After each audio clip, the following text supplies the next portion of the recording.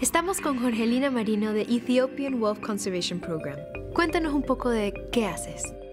Por la misión del Ethiopian Wolf Conservation Program es salvar a los lobos etíopes de extinción, porque son muy raros. Nuestra misión es protegerlos a ellos y proteger a las montañas donde ellos viven en Etiopía.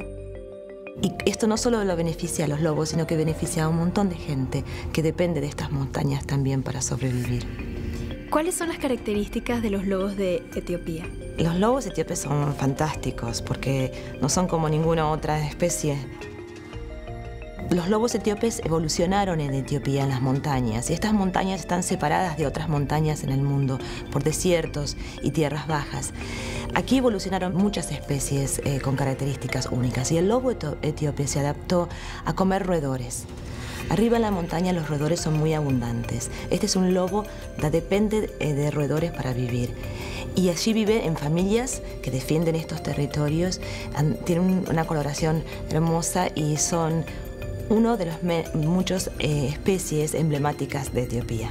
¿Cuáles son las mayores amenazas que sufren estos lobos? Los lobos etíopes son muy vulnerables porque quedan muy pocos. Uno de los principales problemas que tienen es que los perros domésticos de la gente que vive alrededor de donde ellos viven transmiten enfermedades eh, virales como la rabia y el moquillo. Cuando los lobos se infectan, muchos de ellos pueden morir en un periodo corto de tiempo. El otro gran problema es la disponibilidad del hábitat. Etiopía es un país con más de 100 millones de personas. Hay demanda por la tierra y por la agricultura. A medida que la agricultura avanza, los lobos se encuentran atrapados en la, en la parte más alta de la montaña. Estos dos factores son serios y son complicados.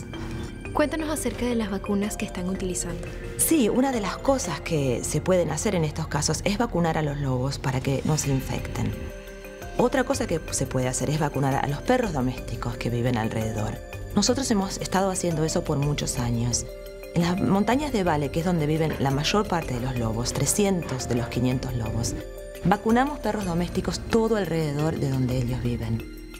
Y a veces vacunamos a los lobos contra la rabia. Esto lo hacemos cuando descubrimos que hay un, eh, un, problema, cuando muchos están muriendo. Vamos y vacunamos a los lobos que viven alrededor de este foco de infección. Para eso los tenemos que atrapar y vacunar y los soltamos y ellos vuelven a su vida normal. Cuéntanos, ¿cómo podemos ayudar? Todos pueden ayudar a salvar al lobo etíope.